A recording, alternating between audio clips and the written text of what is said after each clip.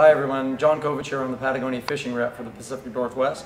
We're here in Seattle at the Patagonia showroom. Uh, Chris all the, came all the way up from Eugene from the Caddis Fly to highlight some of the new Patagonia fishing products for 2013. So we want to talk about what's new in waders. There are two waders that we have in the line currently which won't change for next year. One is our wading pant, the Gunnison Gorge wading pant, the other is the Rio Azul. But those have been instrumental in the new waders that we have coming for 2013, mostly in the, um, the direction we've taken in fabrics. The fabrics that we're using in all the waders now um, started with the, the uh, Rio Azul wader, which we currently have on the line, which is a four-layer uh, product that's exclusive to Patagonia. And we've loved it. All the Patagonia testers have loved it. Our fabric lab has loved it. They found that its abrasion and puncture resistant is just superior to anything else that they've seen. In fact, they've given us numbers like 40% uh, greater than anything they've seen um, out there on the market. So we've gone to all four layer um, packages here for all of our new waders. So one thing I want you to understand is when we say four layer, that means that there's four different fabrics and or barriers used in this in this um, in all of these products but the weight isn't necessarily the same. For example, the Skeena River wader here is a very lightweight four layer, whereas the Rio Gallegos wader here, which is meant for winter steelheading, is much heavier. So the difference here is that when you get a, a wader that's the same amount of layers but heavier weight, it's it's indeed more durable, more even more puncture resistant and more abrasion resistant. It's like the difference between a mesh shirt and a densely woven canvas shirt in, in, in a very simplified way. So I'll start with Skeena River wader. This is going to be a wader that retails at $399. Um, the, the, the feature here that is the same on all the waders is this drop down top that Patagonia has used for a lot of years. It's gotten way better over the last two years in that the, the buckles simply release and you can slide the wader down to wherever you want to, front and back. I leave it loose in the back all the time. So you can then bring it wherever you want to. On a hot day, bring it all the way down. On a day when you want a little bit more uh, air, a little ways down, or of course in the coldest, wettest conditions all the way up.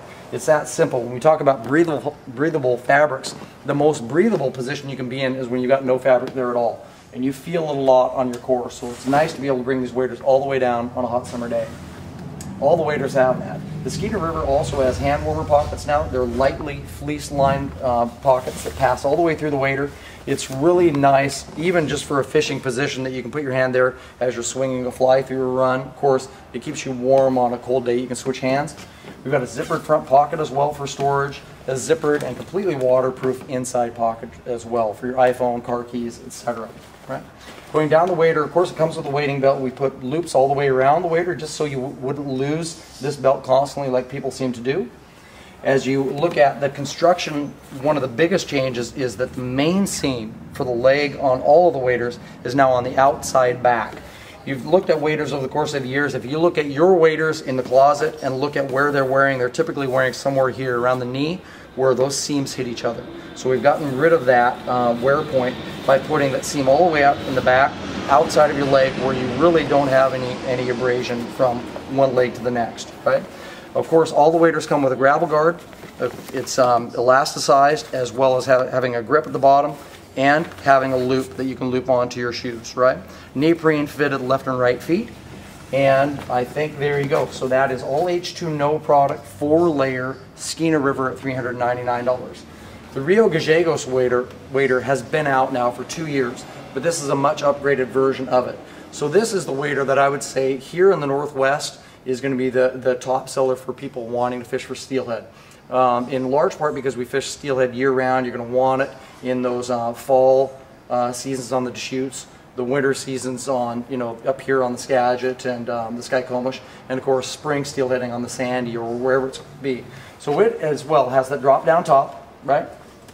Easy drop down. Inside waterproof pocket. I should have mentioned that all of the waders have this piece which allows you to uh, cramp uh, your forceps here or to attach um, uh, nippers and zingers to it so you don't damage the actual wader fabric. Splash proof zippered pockets. Now, these look like waterproof zippers. We'd be lying to you if we told you they're completely waterproof. If you submerge in the waders for a long time, water will get in there. But for rain and uh, wear around the water, they're going to be completely waterproof. So this is, again, lined, passes all the way through, and more secure than the Skeena River is a wader belt that of course um, has loops as well to keep it where it's uh, supposed to be. The, the leg on this wader is the same construction, of course, a much heavier fabric. If you look closely, and I'll show it on the next pair of waders, there's a knee pad inside of this wader. It's nice for uh, releasing fish. It's nice for sneaking up on fish. Whenever you're going to be scrambling around in the bush, this gives you a little bit more protection to the front of the waders. If it feels uncomfortable to you, it slips out. This wader also has, and we'll show it in the next wader, the wool grid uh, merino wool foot. And that's extra, of course, um, insulation for those cold days, right? So the Skeena, or I'm sorry, the River, the Rio Gallegos wader is really our top line product at $499. Now we've upgraded it one level this year as well. I'm going to take this off so we can look at some of these features here. So this is the same product, same fabric package, same feature set throughout, except that we added a waterproof front zipper. Now we know the advantage here is one thing, and that is it's easier in and out of this wader, right? So we get a lot of customers that are either um, just wanting to sit down and be able to pull their waders on, or they're a little bit older and it's a little bit easier for them to get in and out of their waders, or they're a little bit older and it's nice to be able to get, oh well, shall we say access a little bit easier when you need to get rid of coffee, right? So inside of this wader, this is what we were talking about with both models of the Rio Gallegos, is that the foot itself, let me turn it completely inside out, is merino wool grid. This comes from our surf line of neoprene wetsuits, right? And it's a patented product for, for only us, and it comes in these two models of wader. And what it's there for is to provide extra in insulation when you're kneading, right? This is what we also had mentioned with the, um, the knee pad built into the wader that is removable. You can see it's just a piece of neoprene that goes in there that gives you a little bit of cushion if you're having to get on your knees to uh, release the fish or whatever. So the Rio Gallegos, the zippered model is 599.